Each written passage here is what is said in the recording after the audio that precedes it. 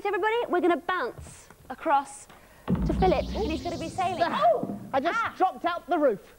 It's like sitting in a giant cowpat. These look like prop legs. Look at this. Hey, I'm in an amoeba. You all right, Gordon? Very good. What a harsh video vote that was today. I thought it was very harsh indeed. Now then, I've never been very much of a sailor, it has to be said. Gordon's not too bad, are you? Quite good at it.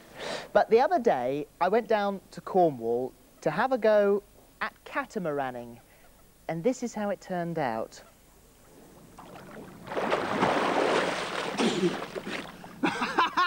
There you are. Now, this is normally the way my sailing expeditions end up, in the drink. Now, if you follow me over here, introduce you to a chap who's one of the professionals, teach you how to do it.